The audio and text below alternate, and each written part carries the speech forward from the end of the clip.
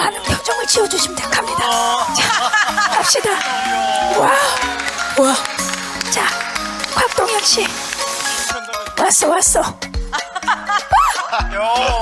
전 세계 시청자들을 저격하겠다. 내가 sniper다. Wow. 자, 넷플릭스의 아들. 넷플릭스의 아들 박성훈. 좋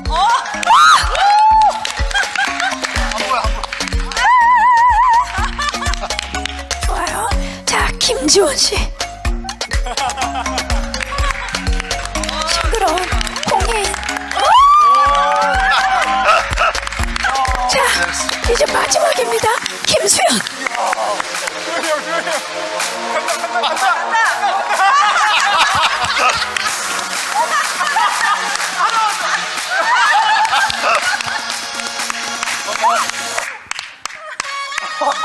이거죠. 이겁니다.